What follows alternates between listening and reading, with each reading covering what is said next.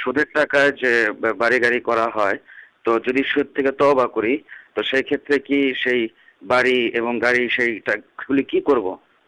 আসলে সত্যিকার অর্থে একজন মানুষ যখন সে না বুঝে কোনো পাপ করে, সেই পাপের জন্য আল্লাহর কাছে তওবা করলে আল্লাহ তাকে ক্ষমা করবেন। এটাই আল্লাহর নিজাম এবং সেভাবেই কোরআনে বলা আছে। কিন্তু বারবার আপনি একই পাপ করে যাবেন এবং জেনে শুনে করবেন, সেটা তো আল্লাহ মাফ করবেন না।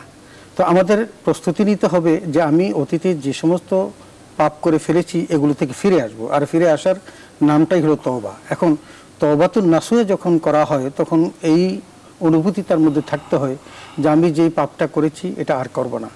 আমি যেই পাপটা করেছি, এটার জন্য লজ্জিত। আর আমি যে পাপটা থেকে এই বিরত থাকলাম, এটা আমার জীবনে কখনো আর ঘটবে না।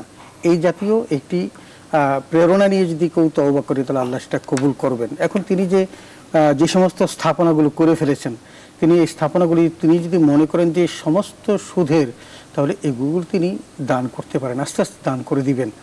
একদিনে দিতে হবে, এমনটি নয়। যদি তার পরিশুদ্ধতা থাকে যে হ্যাঁ আমি মুখলেস হয়ে এই অর্থবিত্ত বৈভক্ত কিছুই আমার সাথে যাবে না। এগুলো সব দুনিয়াতে থেকে যাবে। কিন্তু অর্জনটা আমার। আর কাল কেয়ামতের মাঠে প্রত্যেকটার জন্য আমাকেই কিন্তু জবাবদিহি করতে হবে। একটি জিনিস মনে রাখতে হবে।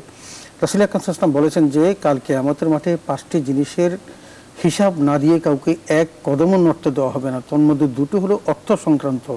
একটু সে কীভাবে অর্জন করেছে আরেকটা হলো কীভাবে সে ব্যয় করেছে। সুতরাং আপনার অর্জন এবং ব্যয় সম্পর্কে যেহেতু আল্লাহর কাছে জবাবদিহি করতে হবে সুতরাং আপনি দুনিয়াতে থাকা অবস্থায় সেটার শেষ করে যাওয়া শেষ করে যেতে হবে। হ্যাঁ, অবশ্যই।